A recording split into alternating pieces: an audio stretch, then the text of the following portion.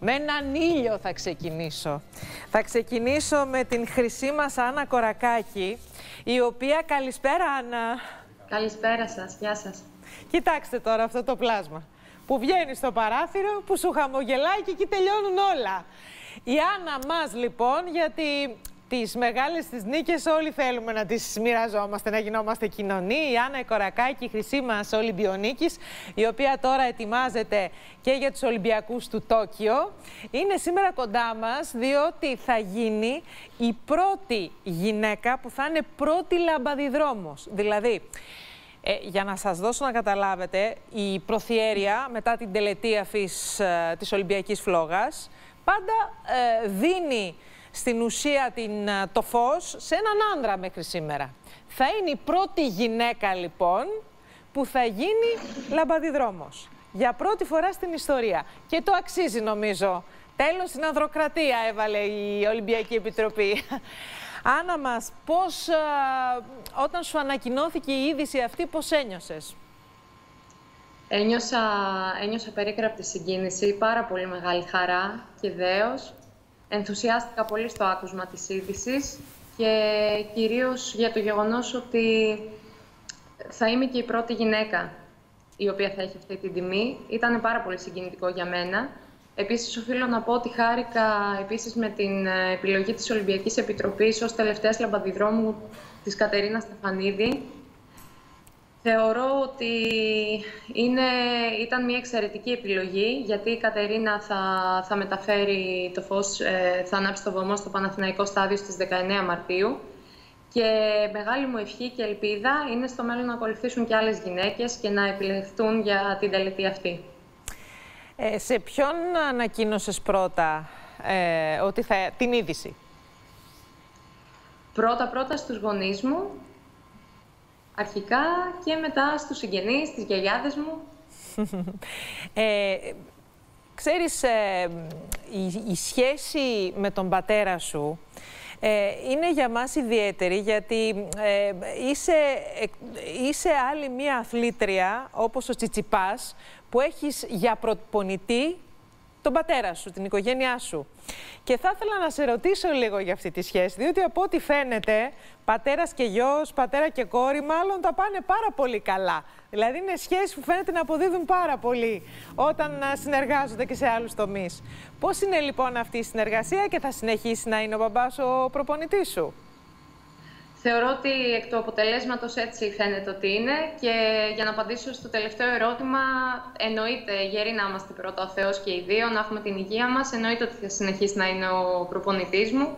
Με έχει αναλάβει από την πρώτη μέρα, ήταν αυτός που με, που με παρότρινε να ξεκινήσω με το άθλημα της κοποβολής. Ε, νομίζω ότι δεν θα, δεν θα ήθελα να έχω κάποιον άλλον προπονητή, ακόμη και αν είχα αυτή τη δυνατότητα. Γνωρίζει τα πάντα σχετικά με μένα. Δεν χρειάζεται πολλές φορές καν να του μιλήσω, προπονητικά, αγωνιστικά και σαν άτομο. Ε, η συνταγή νομίζω ότι είναι επιτυχημένη, δόξα τω Θεώ, μέχρι σήμερα. Δεν θα τον άλλαζα με κανένα προπονητή. να σε ρωτήσω κάτι. Ε, είναι μια σχέση ιδιαίτερη γιατί ο αθλητής πάντα με τον προπονητή, την προπονήτριά του, αναπτύσσουν ένα ιδιαίτερο δεσμό. Απ' την άλλη υπάρχει πάντα και η οικογένεια που κάθεται στην κερκίδα και ο αθλητής για να πάρει κουράγιο έχει και ένα βλέμμα για την κερκίδα, στην οικογένειά του. Ε, εσύ έχεις πάντα την οικογένειά σου κοντά σου έχοντας τον πατέρα σου δίπλα. Πόσο παραπάνω δυνατή σε κάνει αυτό στο κομμάτι της ψυχολογίας, γιατί η ψυχολογία σε έναν πρωταθλητή του δικού σου βεληνικούς παίζει τεράστιο ρόλο.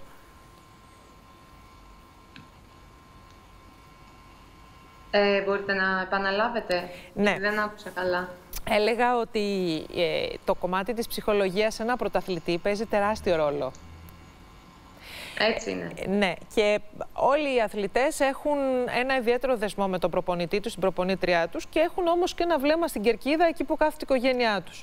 Εσύ και ο Στέφανος ο Τσιτσιπάς δεν έχετε την ανάγκη να γυρίσετε στην κερκίδα γιατί στην ουσία και ο προπονητής και η οικογένεια είναι ένα πόσο ρόλο παίζει αυτό στην ψυχολογία σου; Νομίζω ότι είναι ένα τεράστιο είναι αυτό και κυρίως προσωπικά μπορώ να πω ότι με βοηθάει στο ότι τουλάχιστον ένα μέρος της οικογένειάς μου δεν μου λείπει όσο είμαι στα ταξίδια. Γιατί η αλήθεια είναι ότι ταξιδεύουμε πάρα πολύ συχνά και λείπουμε στο εξωτερικό το μεγαλύτερο μέρος του, του χρόνου. Οπότε αυτό εμένα με βοηθάει πάρα πολύ ψυχολογικά γιατί νιώθω ότι είναι ο πατέρας μου μαζί μου.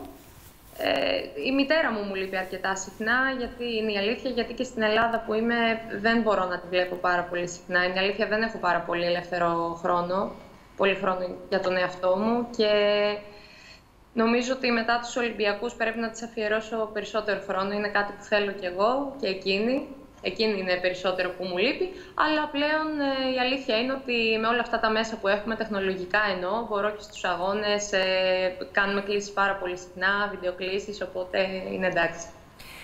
Ε, πόσες ώρες προπονείσαι την ημέρα, λες δεν έχεις χρόνο; Εξαρτάται πάντα με, το, με τον αγώνα και τη διοργάνωση για την οποία προετοιμαζόμαστε.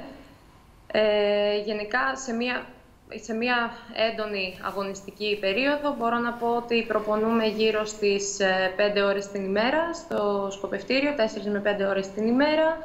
Ε, μετά από εκεί και πέρα κάνω και δραστηριότητες εκτός σκοπευτηρίου, κάνω πάρα πολύ γυμναστική, έχω γυμναστήριο, έχουμε τις θεραπείες μας, φυσιοθεραπείες για να αποφύγουμε τραυματισμούς, να προλάβουμε μάλλον τραυματισμούς. Οπότε είναι γεμάτη μέρα.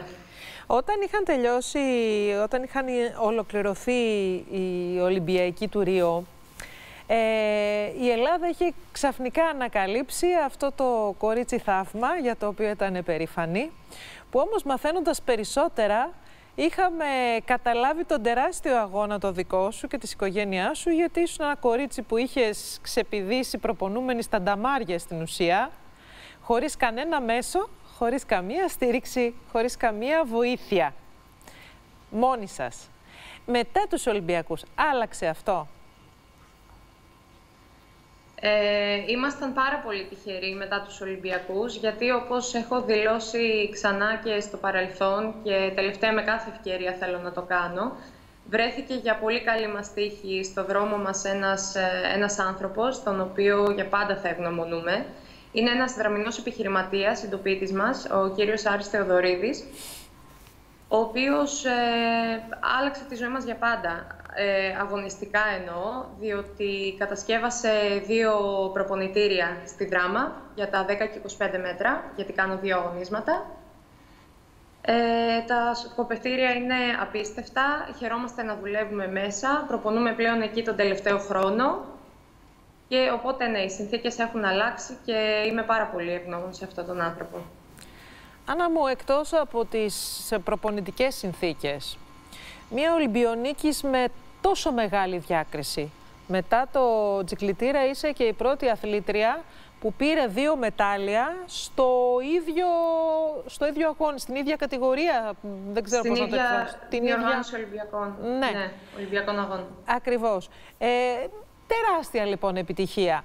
Ε, εκτός από το μέρος που προπονείσαι, έχει αλλάξει κάτι άλλο στη ζωή σου; Δηλαδή, ένας άνθρωπος, ένας αθλητής με το δικό σου βεληνικές μπορεί να έχει ε, κάποιες οικονομικές απολαβές έτσι πως έχουν οι αθλητές στις Ηνωμένες Πολιτείες, της Αμερικής, έτσι ε, όπως έχουν οι αθλητές έστω στην Ευρώπη; Ή το κάνεις για τη φανέλα; Έχω να πω, έχω να πω πάνω σε αυτό γιατί πολλοί κόσμος ε, δεν το γνωρίζει και επειδή είναι και απορία ε, ενός πολύ μεγάλου μέρους του κόσμου, έχω να πω ότι είμαστε πάρα πολύ τυχεροί σε αυτό όσοι ασχολούμαστε με τον ερασιτεχνικό αθλητισμό στην Ελλάδα, γιατί και στην Ευρώπη ισχύει αυτό το πράγμα, όπως για παράδειγμα οι συναθλήτριές μου ε, στην Ευρώπη, όπως είπαμε, ή στην Αμερική, που ασχολούνται με το άθλημα της κοποβολής, ε, ακόμη και αν έχουν τις ίδιες διακρίσεις με μένα, δεν έχουν στο πλευρό τους ε, χορηγούς, αρρωγούς στην προσπάθειά τους, όπως έχουμε εμείς στην Ελλάδα.